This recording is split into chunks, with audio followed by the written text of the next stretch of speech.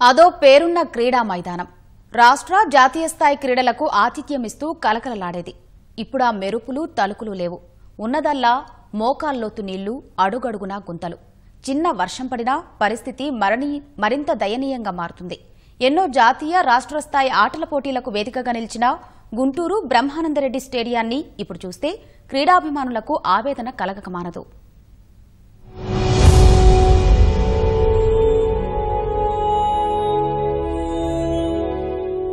ఇది ఏ వాగో కాదు చెరువో కాదు. ప్రసిద్ధి చెందిన గుంటూరులోని బీఆర్ స్టేడియం దుస్థితి గత కొంతకాలంగా నిర్లక్ష్యం ఇక్కడ తాండవించడంతో పరిస్థితి ఇంత దయనీయంగా మారింది.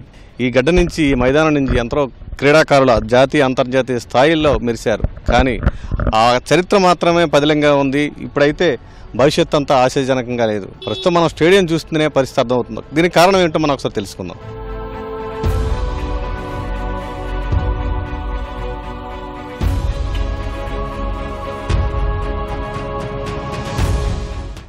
గుంటూరు నగరానికి నడిబొడ్డున ఇరవై ఒక్క ఎకరాల విస్తీర్ణంలో ఉన్న బ్రహ్మానందరెడ్డి స్టేడియానిది ఘనమైన చరిత్ర.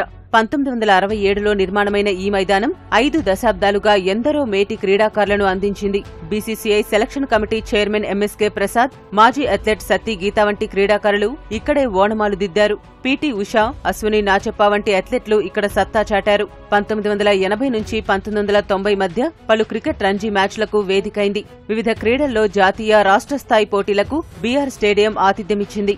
ఇక్కడి నుంచి ప్రస్థానం మొదలుపెట్టి గుంటూరు ఖ్యాతిని జాతీయ అంతర్జాతీయ స్థాయిలో ఇనుమడింపజేసిన క్రీడాకారులు చాలా మందే ఉన్నారు.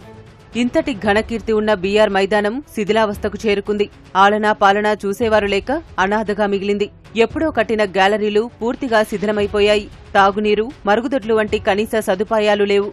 చిన్న వర్షం వస్తే చాలు. మైదానం నీటితో నిండిపోతోంది. మైదానం నిండా నీరు చేరడంతో క్రీడాకారులే కాదు వాకర్లు సైతం రావడం మానుకున్నారు. కరోనా దెబ్బతో కూరగాయల వ్యాపారులకు క్రీడా మైదానం వేదికగా మారింది. ఎంతో ప్రతిష్టాత్మకమైన ఈ మైదానం ఈ స్థితికి చేరడం పట్ల మాజీ క్రీడాకారులు క్రీడా అభిమానులు ఆవేదన వ్యక్తం చేస్తున్నారు.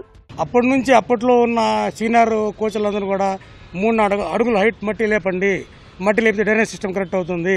డ్రైనేజ్ సిస్టమ్ కరెక్ట్ అయితే స్టేడియం మొత్తం బాగుపడుతుంది వాటర్ ఆగదు. అని చెప్పి చాలామంది చెప్పుకుంటూ వచ్చారండి. ఏ రోజు ఏ గవర్నమెంట్ కూడా స్టేడియాన్ని పట్టించుకోలేదు. గుంటూరులో ఉన్న డ్రైనేజ్ నీరు మొత్తం అక్కడికి చేరుతుందండి. స్టేడియాన్ని వాస్తు ప్రకారంగా చూసుకున్నా కానీ స్టేడియాన్ని నాలుగు అడుగులు హైట్ లేపితే తప్ప స్టేడియం బాగుపడదు. అందరికీ అన్నం పెట్టిన తల్లిది ఆ తల్లిని పట్టించుకోకపోతే రాబోయే భావితరం నష్టపోతారు. అందరూ క్రీడాకారులు వయసు ఎక్కువైన వాళ్ళు అందరూ వాకింగ్కు ఆ విధంగా అన్ని విధంగా బాగుండేది. ఈ చిన్న వర్షం వల్ల చాలా అధ్వానంగా మారింది. తర్వాత వాటర్ స్టాగ్నెంట్ అయినందువల్ల దోమలు అవి పరిస్థితి వేరే ఇతర జబ్బులకు కూడా దారి తీయడానికి ఆస్కారం ఉంది. సంబంధిత అధికారులు తగిన చర్య తీసుకొని దీన్ని బాగు చేస్తే స్టూడెంట్లకు కానీ అటు జనాలకు కానీ మంచిగా ఉపయోగపడుతుంది. గుంటూరు జిల్లాకే పేరుగాంచిన స్టేడియం బీఆర్ స్టేడియం. అలాంటి స్టేడియంని చాలా కూరగాయల మార్కెట్ లాగా చేసేసారు దాని పరిస్థితి. వర్షాకాలంలో వస్తే కాలు మోకాలు దాకా బురద ఉంటుంది సార్. మోడిఫై చేయడం వల్ల చాలా బాగుంటుంది. చాలా మంది పిల్లలు ఉన్నారు. ఒకటో నియోజకవర్గంలో ఒక పేరుగాంచిన స్టేడియం లాగా ఉంటుంది అని చెప్పి మేము ఆలోచించుకుంటాం సార్. విభజన తర్వాత రాష్ట్రంలో సరైన క్రీడా మైదానాలు మౌలిక సదుపాయాలు కరవై క్రీడాకారులు ఇబ్బందులు పడుతున్నారు. ఈ సమస్యలను అధిగమించేందుకు గత ప్రభుత్వం బీఆర్ స్టేడియాన్ని ప్రైవేటు భాగస్వామ్యంతో పునర్నిర్మించాలని నిర్ణయించింది. ఒకే స్టేడియంలో ఇండోర్ అవుట్డోర్ మైదానాలు కలిసుండే విధంగా అహ్మదాబాద్లో నిర్మించిన నమూనాను అధికారులు ప్రజాప్రతినిధులు పరిశీలించారు. కేరళ తిరువనంతపురం ముంబైలో నిర్మించిన అధునాతన మైదానాలను పరిగణలోకి తీసుకున్నారు. అన్ని ఆధునిక హంగులతో మైదానాన్ని రెండు వందల డెబ్బై కోట్ల రూపాయల వ్యయంతో నిర్మించాలని ప్రతిపాదనలు పంపించారు. ఇవేమీ కార్యరూపం దాల్చలేదు.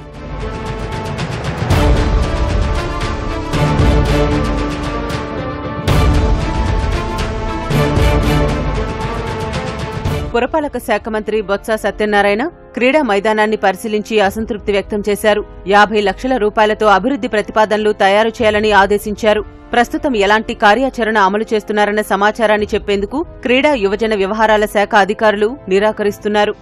బీఆర్ స్టేడియం దుస్థితిని మనం కల్లారా చూశాం. అయితే ఇకపై ఏం చేయాలి? ప్రభుత్వాలు ఎలా స్పందించాలి?